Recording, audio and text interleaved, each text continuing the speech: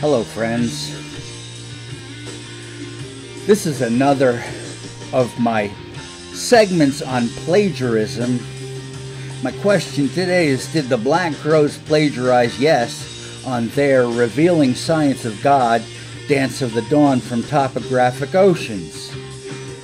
And the Black Crowes' famous riff on their hit Remedy is F, E minor, C, E flat, D to B flat, resolving on C. And the riff is a placeholder between verses. The notes on the intro to Yes, Tale of Topographic Oceans are E, E flat B, D, D flat A, and resolves on A flat.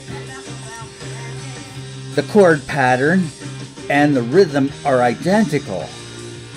The chords are bumped up a half step on Remedy. But I'm going to take a wild guess here.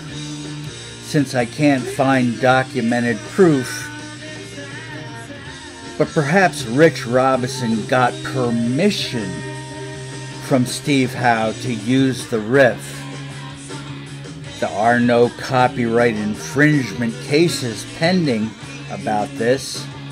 Howe published the riff in December of 1973. The Black Crowes struck gold in May of 92. This is not a matter of public domain. That needs a lot more time, like 50 or 60 years. Not 19. Marc Ford was the Crowes' lead guitarist at the time of publication, but I'm guessing either Rich or Chris Robinson were responsible for this riff. By osmosis? Now, Steve Howe lists Rich as one of his favorite guitarists, along with Chuck Berry and Chet Atkins.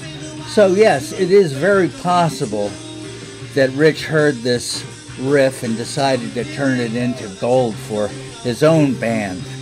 Let's have a listen to Tales of Topographic Oceans.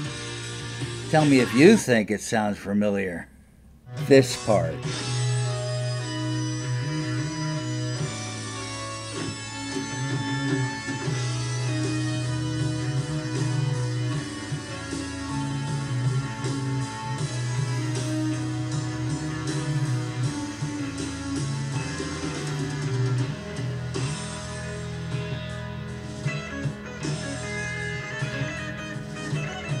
So I'm guessing Steve Howe, who is responsible for this riff, unless I'm completely mistaken. Maybe he thought of the similarity from this song to the Black Crowes Remedy as something that was like a happy coincidence since we are all members of the rock and roll family. Maybe that's his attitude, which, if that's the case, I give him kudos, Mr. Howe. You certainly could have sued over this. But there's no record of anything like that unless I'm completely mistaken, and you, dear listener, can set me straight in the comments section.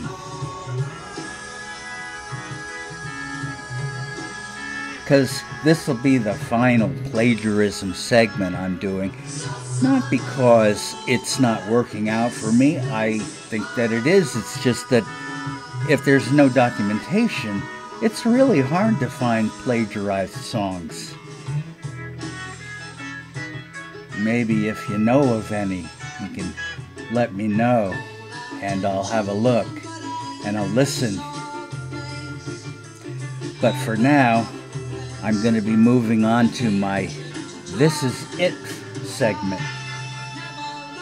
Choosing one song or two songs by a specific artist that has a, an element of it. The thing that grabs you, just won't let you go.